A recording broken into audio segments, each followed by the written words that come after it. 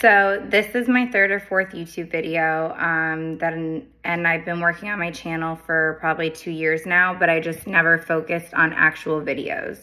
So this morning I wanted to do a get ready with, get ready with me video on what I use in the morning. So I wash my face with this ZO Gentle Cleanser. I love it. My kitten's about to run in front of the camera, but you can take a look at her and I'll let her go. He's so cute. Her name's Molly. Okay, go Molly. Okay, so after I do that, um, I use the complexion renewal pads. The most important thing to know about these is that um, there is a little bit of glycolic acid in them. Um, it's kind of like a pH balancing toner, but look, like it makes my skin glow and it makes me feel super clean. These are great for morning and night or post workout. Um, I know a lot of girls that keep these in their gym bags. Very similar to like a calming pH toner that ZO also recommends, but I don't use that one. After that, I usually use illuminating AOX. I don't have any and I can't find it and it's driving me crazy and it's 4th of July. So I'm gonna dab my fingers into my um, SkinCeuticals Triple Lipid Restore. Um, this is usually my nightly cream, so I'm very careful with how much I use because it's super expensive and it's thick. It's an anti-aging lipid cream, but like, just look at the glow it gives you.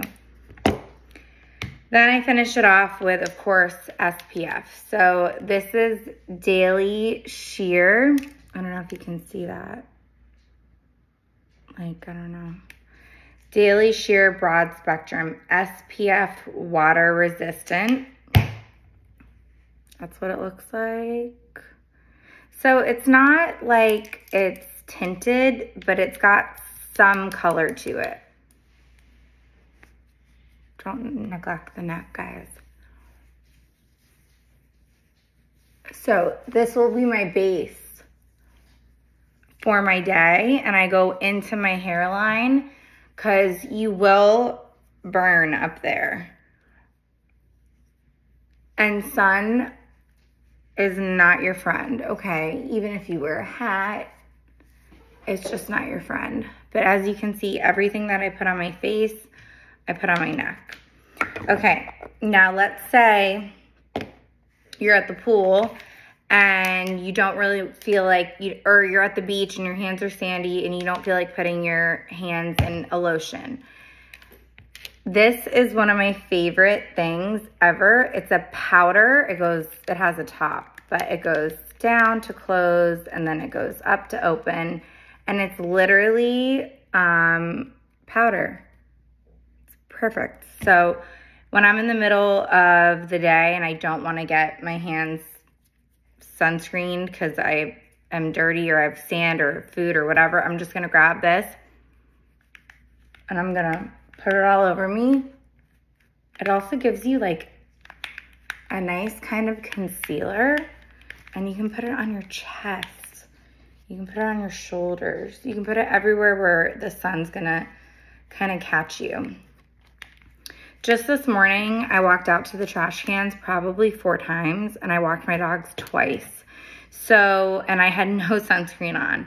So I know I've already been exposed to the sun this morning.